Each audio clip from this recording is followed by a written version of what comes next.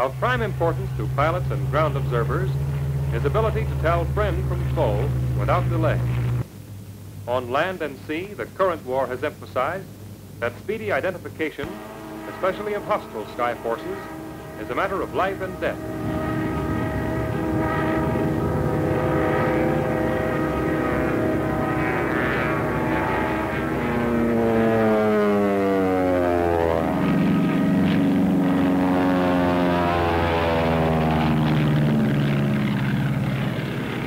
In the crucible of conflict, the RAF has learned to stress recognition as the keystone of intelligent air attack and defense. Their experience proves how essential it is for all military and civilian observers to recognize quickly leading types of foreign aircraft. From the very shadow of hostile wings, we can learn enough to clip them. This is the Messerschmitt ME-109, Germany's famous single-seat fighter.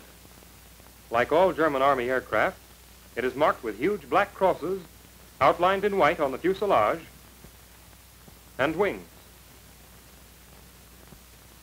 In addition, the Messerschmitt carries a swastika on each side of the vertical tail group. The markings are, however, of slight value, except at close quarters.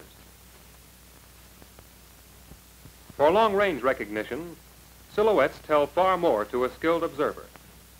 This head-on approach of a low-wing monoplane identifies it as an ME-109 by its tail struts. All but the very latest model have this distinctive construction, which differentiates the majority of Messerschmitts from any comparable pursuit types. Another ME-109 feature in head-on approach is the almost clean line beneath from wingtip to wingtip, the slightly projecting radiators being virtually invisible in the newest ships.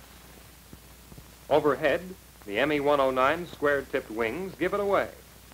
Although later models have rounded wings, this conformation is characteristically German. In addition, the bullet-shaped nose, long slender fuselage, and small tail group are outstanding clues to the ME-109's identity. From the side, features aiding recognition are again the bullet-shaped nose, the long slender fuselage, and the small tail group. To a flyer, a bird's eye view offers the same clues. The pilot's cockpit is very evident here. Comparison of the ME-109 with our own P-40 accentuates features which make the Messerschmitt a marked ship. It will be noted that the ME-109 is much smaller than the P-40 and has three distinctive differences, readily apparent. First, the Messerschmitt 109, although powered with a liquid-cooled engine, has a comparatively blunt nose, while the P-40's spinner is pointed. From the side, this difference between the noses is quite obvious.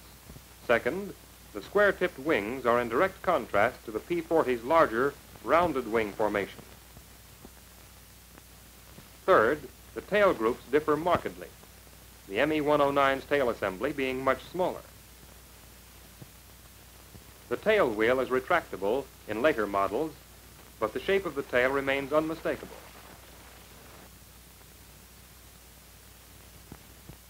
Thus, in passing flight, the structural differences just noted between the P-40 and the ME-109 expedite identification.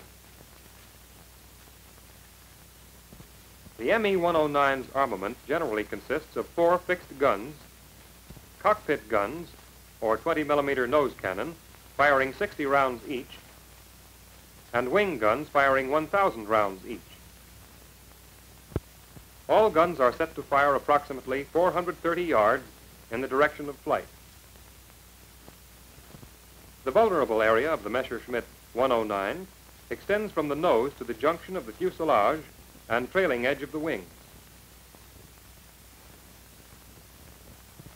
In this side view, the vulnerable area again is obvious. The fuel tanks follow the contours of the pilot's seat.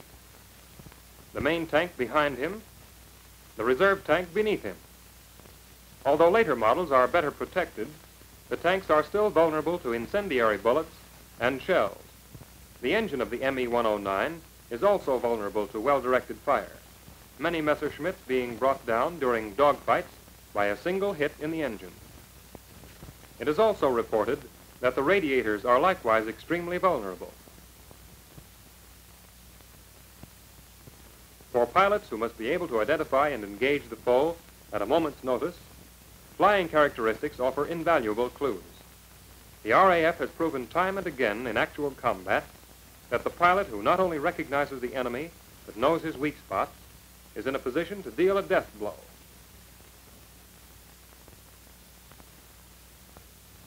For his own protection, the pilot must also know his opponent's strong point. In the ME-109, this is a remarkable rate of climb.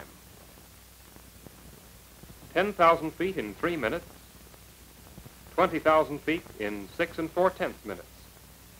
At this critical altitude, the latest model can make 380 miles per hour. Hence, when in a tight spot, the ME-109 will often break off combat and climb, relying on its speed to escape. However, the ME-109, particularly the earlier models, cannot make tight turns and can be outmaneuvered by a pursuit plane like our own P-40 that can.